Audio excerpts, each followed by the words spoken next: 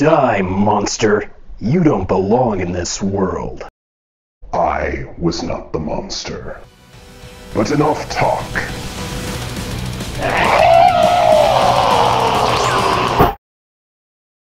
Nothing personal, cat.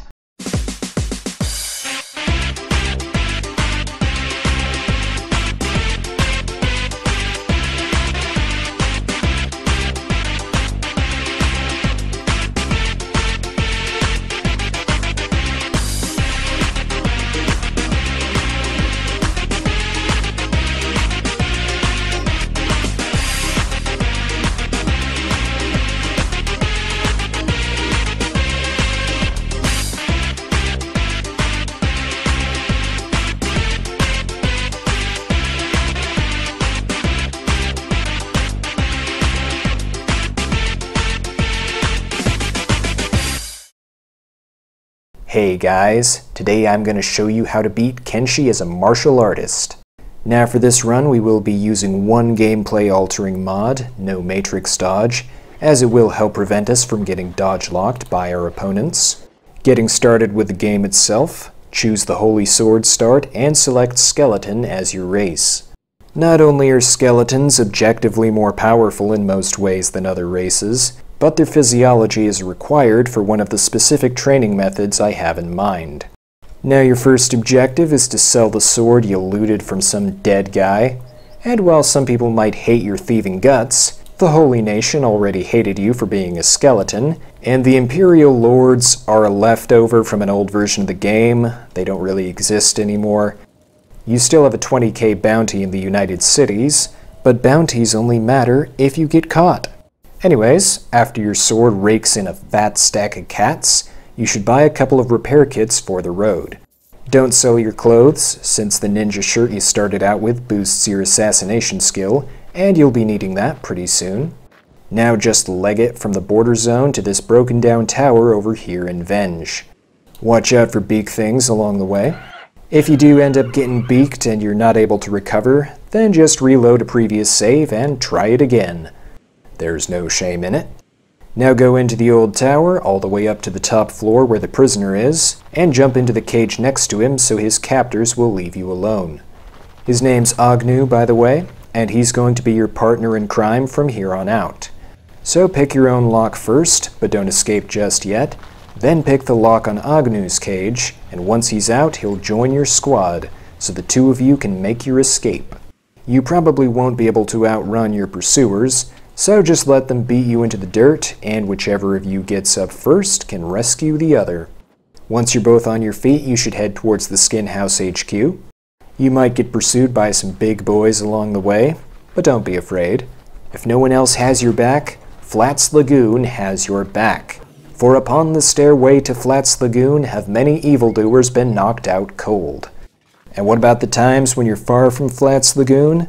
Well, as the old saying goes, you don't have to outrun the gorilla, you just have to outrun the guy next to you. So yeah, have fun with that bug boy. Once you get to the Skin House HQ, you'll meet up with some friendly humans, and they'll let you use their skeleton repair beds for free, because empathy is an important part of human behavior. Next up on your journey is the Ash Dome where Catlon resides. The locals will be less than friendly towards you, but since they're skeletons and skeletons don't run very fast, they won't be able to catch you. And once you get to Catlon's Exile, you'll want to loop around on the right side to avoid the dome on the left, because it's full of enemy robots. Then let your pursuers kick the snot out of you so they'll go away. Now enter the dome on the right, and this is where you'll find Catlon on his throne. Then before he finishes his little speech, you should make a new save. Then load the save, and Catlon's brain will break, and he won't attack you. Now rapidly click the right mouse button on him while sneaking, and your assassination skill will shoot up faster than a tourist in Amsterdam. Not that I know anything about that, of course. Anyways, once your assassination skill is high enough, you should be able to knock him out. Now the reason we brought Agnew is because he has 50 strength, so he'll be able to carry Catlawn out of the Ashlands without being slowed down. Then head back to the Skin House HQ, wait until nighttime, and then pick up the leader of the humans while he sleeps.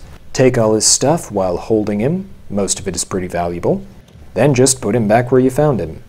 You can use Catlon as a duffel bag so you won't get weighed down by all the items you stole. Then read the leader's blueprint so you can learn how to build a peeler. Your next stop is Flats Lagoon as they tend to carry a lot of cash. You might get chased by some bug boys along the way, but remember, there's always a bigger bug. Circle of life, baby. Now sell off some of your expensive stuff at Flats Lagoon. Buy yourself a couple of wooden backpacks if they have them. If you want to be able to sell Catlon's AI core and CPU, then you'll need to throw him on the ground, and just as he regains consciousness, pause the game and rip his guts out. If you don't get the surgical timing right, then he'll die, so make sure you save before doing this. Then afterwards, save and reload so he goes non-hostile, knock him out, and make your way towards Black Desert City. Now there are dust bandits patrolling the road on the way there, but there are also beak things, so you know where this is going. And while some bandits may not give up even when the skin is melting off their bones, a good old slap to the face should finish them off. Now once you're in the city, buy yourself a pair of industrial lifter arms and a pair of scout legs of the best quality available, and use Catlon's innards to pay for it. Don't sell his armor though, as you'll be needing that later. Next, you should travel along this trade route I've laid out for you so you can buy the rest of the things that you'll be needing for your specialized martial arts training. Acquire a total of two wooden backpacks and six building materials. Then go to Vane so you can buy one low quality economy right leg and a pair of prototype grade economy arms. Now it is important that the arms are prototype grade, so you may need to visit several villages to find a pair. And the last place you'll want to stop at is Mongrel, and fear not. Though you walk through the valley of the shadow of fog, you shall fear no evil, for you are faster than the fogmen. Now Mongrel is filled to the brim with supplies, so go ahead and stock up on repair kits and anything else you need that you haven't gotten yet. And if any homeless people approach you, then turn them away. You have a hard journey ahead of you, and you can't let fleshy people slow you down. So make your way up to Burn's tower, and then recruit Burn himself. Burn will choose to work for you for free, and more importantly, he has a free skeleton repair bed. So use your building materials to build a small shack near Burn's tower, and within that shack build a peeler. First up for the peeler queue is Catlon, of course. Now while he's in the peeler, repair him, but only enough so that he loses his right leg. Once that's done, take him out and put your main guy in instead. And this time all the limbs are coming off. And don't worry, skeletons don't feel pain, which is why I have no ethical qualms with anything we've done or what we're about to do. Now once your limbs are off, equip the economy arms and the scout legs. Cause now it's finally time to train up the main stats that you'll be needing as a martial artist. First up is martial arts. And the way martial arts works is it will level as you punch things, and the higher your opponent's attack stat is in comparison to your own, the faster it will level. So give Catlon your ninja rags to boost his martial arts skill, and wear his armor to lessen your own. Then put Catlon in the skeleton repair bed. He won't be able to get up since he's missing a leg. Then set Burn and Agnew to start mining the iron deposit outside. And while they're doing that, have your main guys start kicking the snot out of Catlon. This will not only rapidly raise your martial arts, but also your strength, because the more over encumbered you are, the faster your strength will go up when punching. As you get stronger, you'll need to keep increasing how much you're carrying, so that's why our boys outside are breaking iron and filling up two backpacks with it. You will need to fill their backpacks manually, so don't walk away from your computer just yet. But if you do need to step away for a while, then you should at least pick up Catlon and make a save, since if you save and reload while he's in bed, then he'll teleport out of bed and crawl away. You should also keep an eye on your miners, since there are a few iron spiders that roam this area. By the way, you won't have to worry about draining Catlon's HP all the way, since using the economy arms and being over encumbered will make you hit like a wet noodle. When the first backpack is filled, put it in your inventory and get back to work, then do the same for the second. Thus, when all the mining is done, you're free to step away from your computer while your guy trains. With both backpacks full of iron, you won't need Catlon's armor anymore, so you might want to put it back on him. You'll punch faster and therefore level faster without it on. And you can stop training when you get to 80 strength and martial arts in the high 90s, since your industrial lifter arms and ninja gear are going to boost those stats to over 100 at this point anyways. Now the next phase of training will require a change of location, so put your industrial lifter arms on, pick up Catlon, and head back the way you came. Your scout legs will make you faster than any potential pursuers, and you won't be slowed down from carrying Catlon because of your immense strength. Now your current goal is to acquire the crappiest quality katana you can find, and you should hopefully be able to purchase or loot one from one of these locations. A rusted junk grade wakizashi would be ideal, but a rusted grade ninja blade works almost as well. Then go to Black Desert City, sell all your iron, and buy a full set of masterwork limbs if you haven't already. You can put Catlon in a skeleton bed while you change your legs, so that you don't risk dropping him and having him crawl away. Now return to the Skin House HQ. Enter the throne room of their leader, close the door, and head up to the second floor. Equip Catlon with the katana and the economy leg, and swap armor with him. Then put him down and wait for him to wake up, and after finishing his little speech, he'll rush to attack you. So lure him to one of the other skin houses, close the door, and hop into a skeleton bed. Catlon will then begin mercilessly thrashing you with his katana, doing minimal damage since skeletons are resistant to katanas, of course.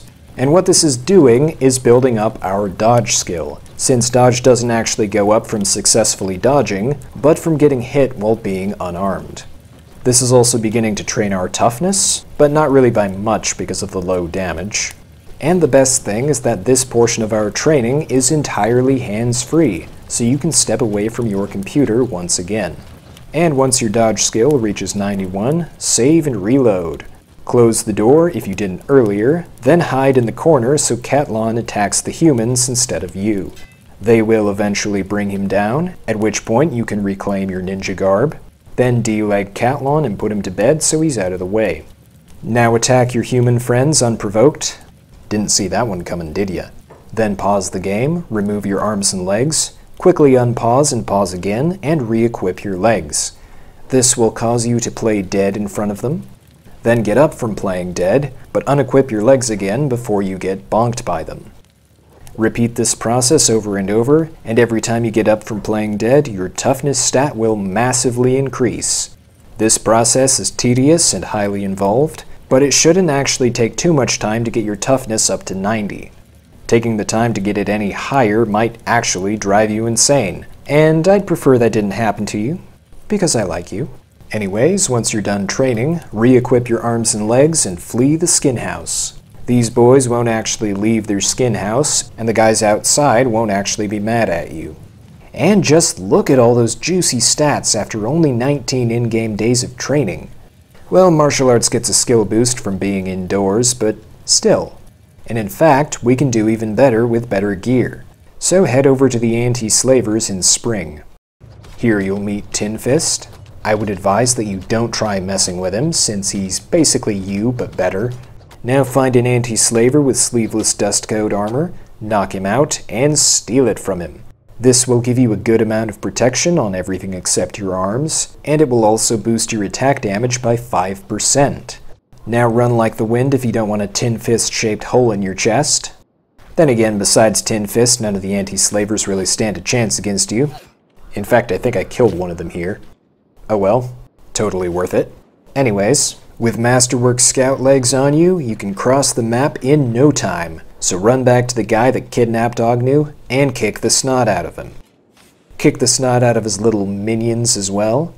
Paint the sands black with their oil and take the kidnapper to the United Cities to collect his bounty. Of course, you still have a bounty on your own head, so you'll have to turn him in quickly. Then sell his weapon and buy yourself some samurai cloth pants.